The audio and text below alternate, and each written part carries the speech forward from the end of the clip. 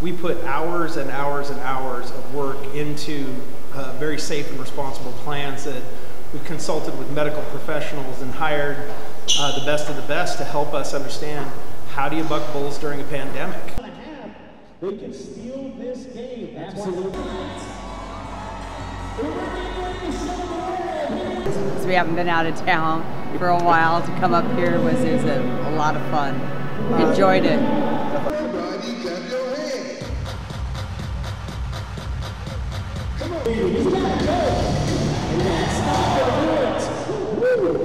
So the last few months has been not only a strange time for the entire world, but it's definitely been a strange time for professional bull riders and having events without any fans being there.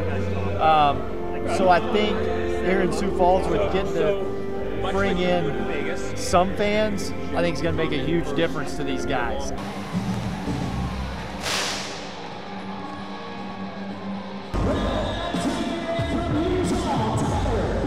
It's like nothing else, really. Um, just to be able to bring light to what a lot of people think of as a dark time in America, you know, just to be able to have something to lighten the mood and just make somebody's day is amazing.